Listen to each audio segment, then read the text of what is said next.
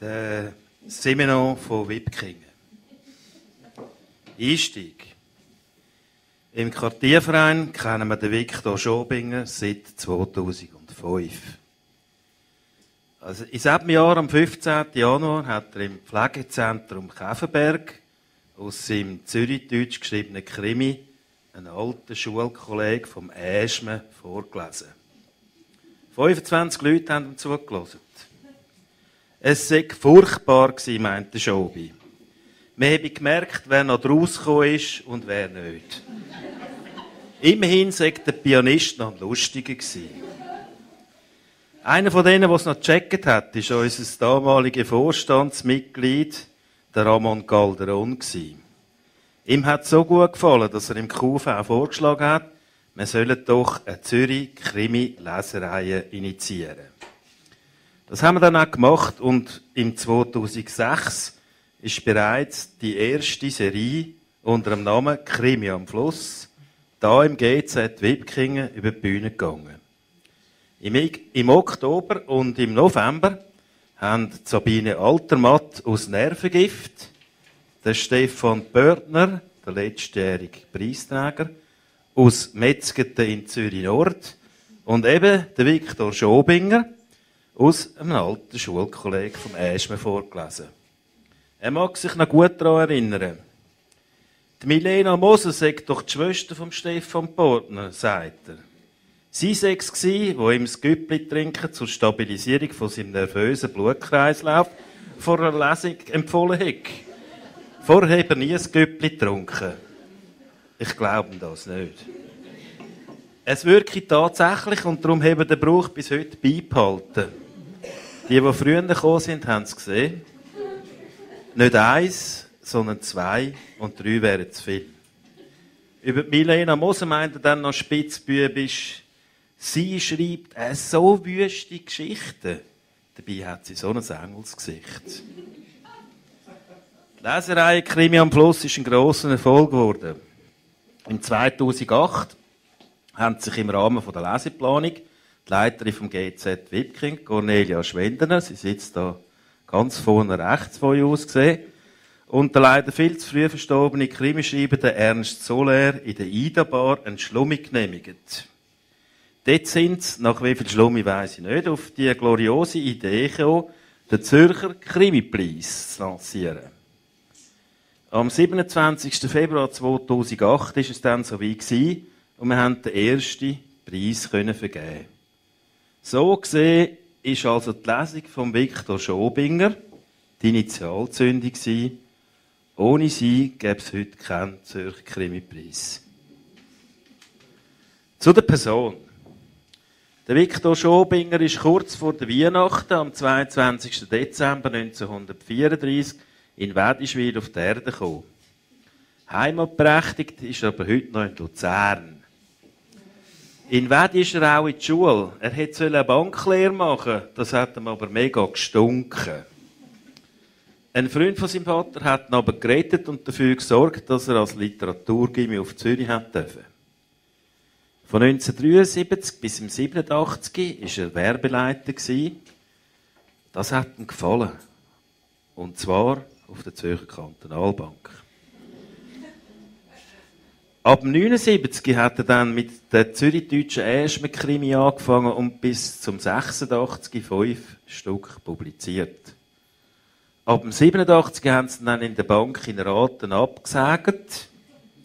Das hat einen regelrechten Schreibstau verursacht. Heute würde man sagen, ein Burnout. Und er hat bis zum 96 nicht mehr schreiben nach der Pensionierung sind die gestauten Geschichten aber wieder mit Vollgas abgeflossen.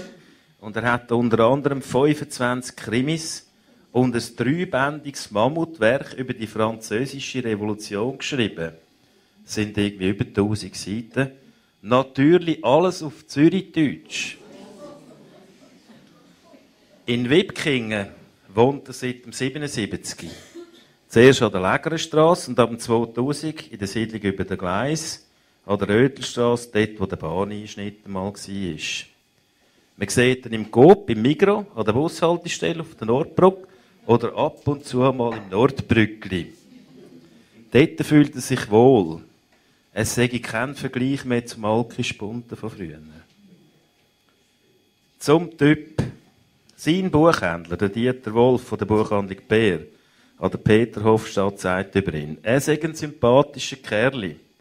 Er könne mit allen Leuten gut umgehen, hätte überhaupt keine Berührungsängste und normalerweise trägt er das schon nach 10 Minuten an. Bei mir ist es eine Minute gegangen. Der Viktor hat einen gesunden Humor, schlucke alles und könne auch herzlich darüber lachen. Mit seinen Zürich-Deutsch-Krimi haben keinen Rappen verdient, sondern nur draufgelegt. Er glaubt das. Er sei halt noch ein Idealist alter Schule. Der Dieter Wolf als Luzerner hat mit dem geschriebenen Zürich-Deutsch vom Schobi nichts anfangen Aber seine Lesung in der Öpfelkammer im Zürcher Niederdorf vom Rindermeer sagen immer ein einziges Vergnügen gewesen. Besonders gut sagt die Einladungen an mich angekommen. Dort stehe ich, dass wir schon früher kommen, um dem Viktor helfen, mit einem Güppli den Blutdruck zu stabilisieren. Mittlerweile gibt es immer mehr Leute, die das beherzigen. Zu den Äschme-Krimis. Die Hauptfigur in dem Krimi ist der Polizeileutnant Heiri Äschme. Geschafft hat er auf verschiedenen Revieren in der Stadt Zürich, bei den Sitten, bis er dann mit 40 etwa bei der Kripo gelandet ist. Er sagt von sich, immer wenn es irgendwo im Kanton ein Leich gibt, bin ich zuständig. Bis zum Krimi Nummer 20 läuft seine Karriere in geregelten Bahnen. Aber dann bricht ihm im Fall in Wiedeknussen das Knick und er wird suspendiert. Im Krimi Nummer 21 wird er zum Glück von allen treuen Lesern vom obersten Boss zurückgeholt. Der hat ihm aber ein schönes eingelegt. Seine neue Chefin vertreibt er nämlich gar nicht. Schon bald muss er mit ihr umstreiten. Am ersten seine Freundin ist seit Urzeiten Tai Eigentlich heisst sie Heidi Thailand stammt aus gutem Haus und ist zu Küsnacht aufgewachsen. Wo ihr Vater gestorben ist, haben die Verwandten sie aus der Familienvilla rausgestellt. Wenn man das weiß, versteht man auch ihre Ansichten, von manchem linken Sozi alle ehrmiechen. Am ersten sind treue Saufkumpan ist der Steiner. Ihn kennt er schon lange. Treue ist auf beiden Seiten. Zusammen gehen sie immer, wenn es nötig ist, in die Einwohnbar. Dort gibt ein Glas am anderen die Hand, würde Steiner sagen. Die Einwohnbar gibt es übrigens wirklich und heisst im richtigen Leben Lucy Bar. Die Figuren. Am Schobi seine Figuren sind authentisch, charaktervoll und mit viel Liebe geschrieben. Beziehungen zwischen ihnen spiegeln dem Autor seine grosse Lebenserfahrung wider und er privat und im Grossbetrieb Kantonalbank gewonnen hat. Nichts ist künstlich oder gesucht. Man muss beim Lesen öppe mal anhalten und darüber nachdenken.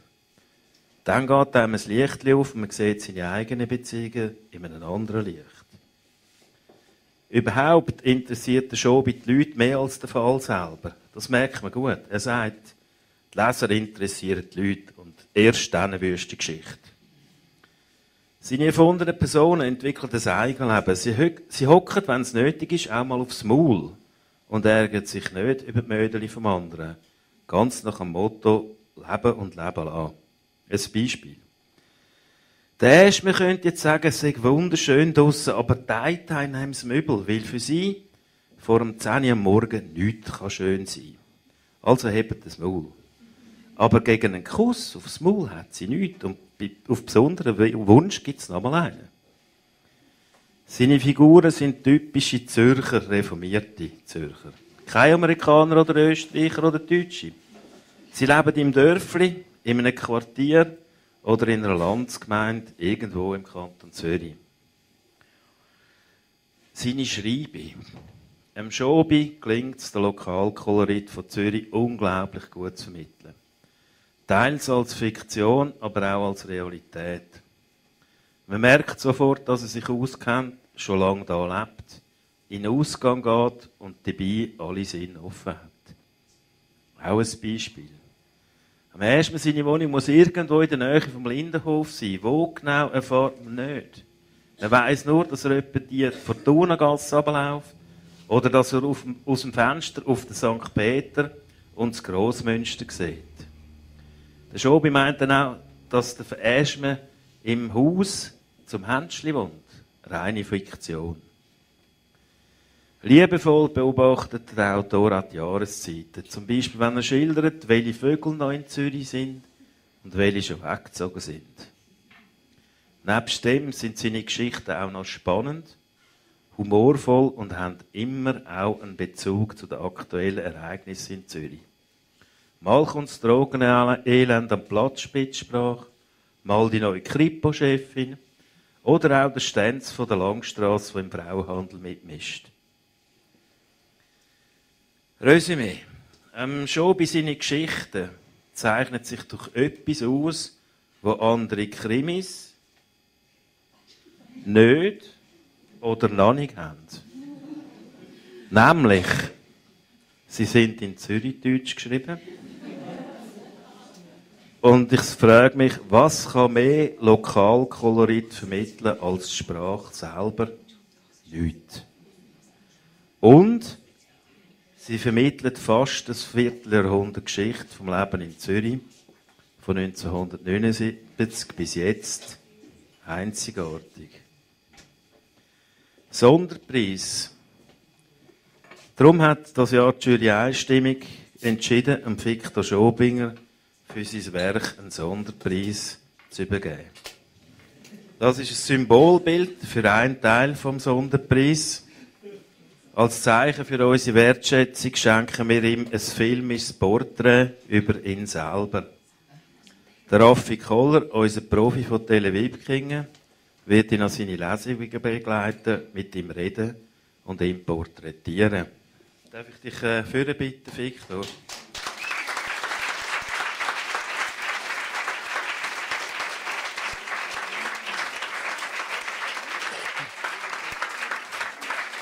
Das Bild, das Bild zeigt ihn in seinem Lieblingsrestaurant, oder? Und äh, irgendwie sitzt er eben genau unter dem Gottfried Keller im Restaurant Öli. Wieso, weiß ich nicht, aber es könnte ein Zeichen sein. Weil er ja die Initialzündung war, dass das Event heute Abend überhaupt gibt, haben wir etwas Spezielles gemacht. Wir haben nämlich die erste Auszeichnung vom Zürcher Krimipreis nochmal gemacht. Und das ist eine Silbermedaille in echt Silber. Und die werden wir ihm auch übergeben.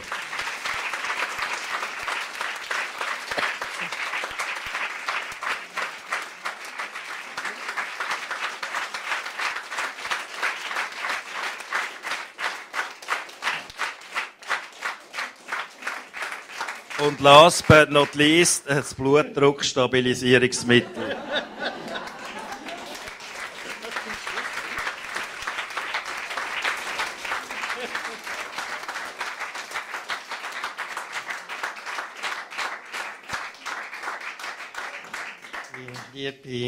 Liebe Ex-Teenager.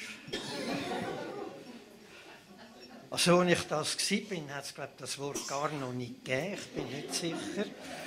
Äh,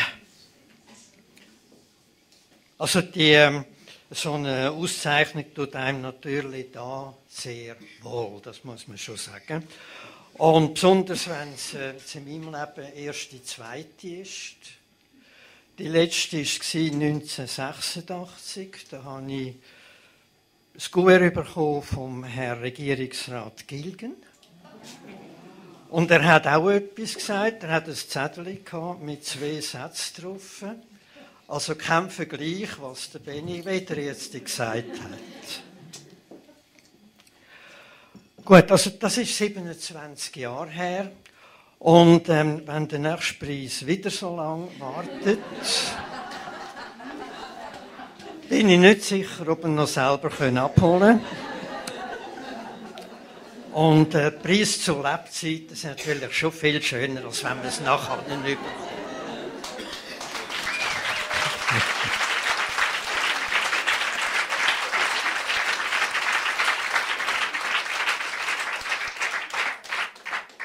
Aber ich danke der Jury, sie hat also nicht gewartet, sie hat mir jetzt noch gegeben.